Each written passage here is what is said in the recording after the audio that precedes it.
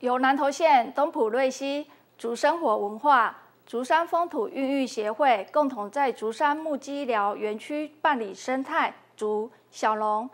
三好联合成果发表活动，将竹山在地非营利事业单位连接不同领域组织，呈现这一年来产业生态保育在竹山的努力成果。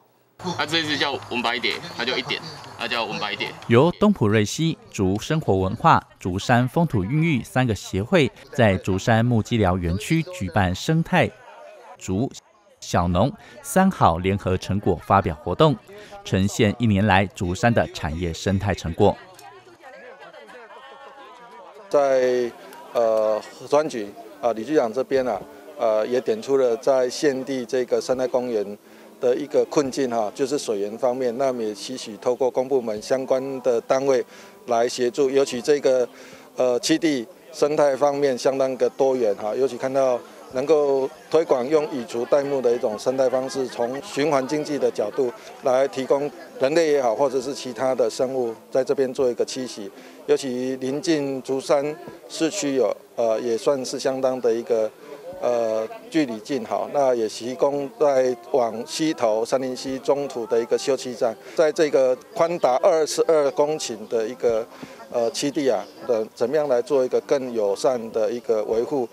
跟推广啊，这个部分都有待。呃，县市政府跟公所以及在地的一个社区，大家公司部门齐力来协助。我们现在已经有许多的在地，包括了文化、包括了生态、包括了生产等等的在地社团来申请来认养这这个二十二公顷里面的土地。我们地社川局在这边有来做生态的调查，将近百种的物种在这边已经在这里繁衍。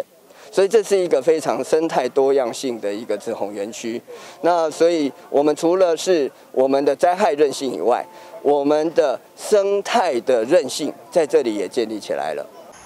会场中有七个关卡让民众体验，有父母带着孩子来一起玩游戏，认识各种蝴蝶种类，还有竹山的产业，增加亲子间的情感。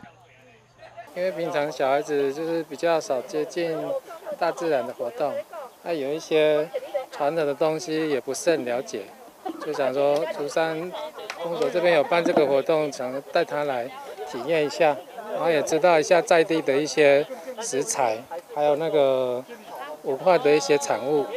这次的活动非常有意义，从早上九点一一直闯关，总共闯了七关，结果这个成效也相当不错，非常有趣。这个商品的话，回去可能。如果当它干燥的时候，已经不会再掉屑屑的时候，我们可以把它挂在门边或窗户旁边。然后在中国人的那个民俗当中，它可以辟邪、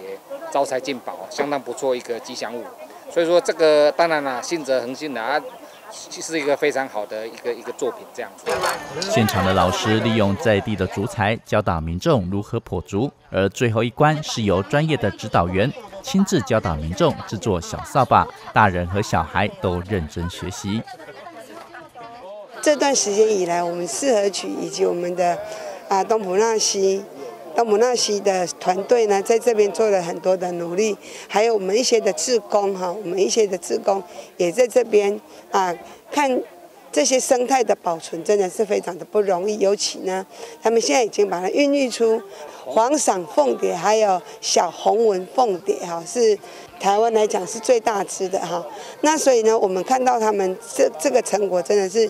相当的不容易，在这这么多年来呢，慢慢的、慢慢的，我想会有越多、越来越多的元素，越来越多的啊培育出来。公安客来到竹山，来到这里。有一个休息的地方，又有一个啊